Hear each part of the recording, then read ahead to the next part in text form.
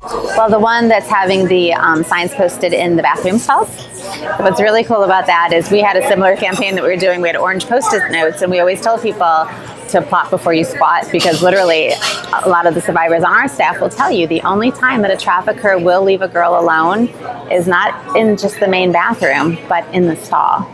And so sometimes that is the only opportunity that they have to have a moment to even think and to have something right in front of them is so vital because these women do not identify, they don't know that they're being trafficked, but if they see something that explains their exact situation and they have a moment, like just catching a moment is so rare.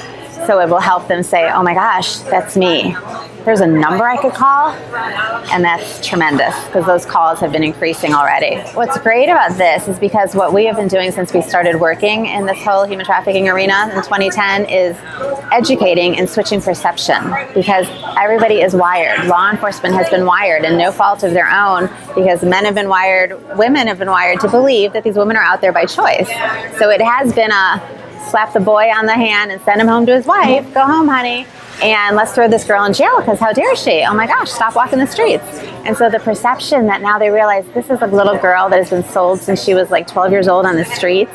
And these men now need to know better that there's no such thing.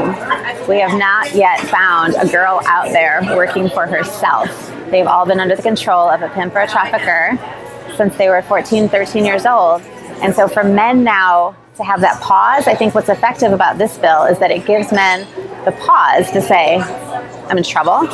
And then they have to learn something about it. I think when people are educated and they see it different, every time I speak, I'll have men come up to you and say, Oh my gosh, you just ruined it for me.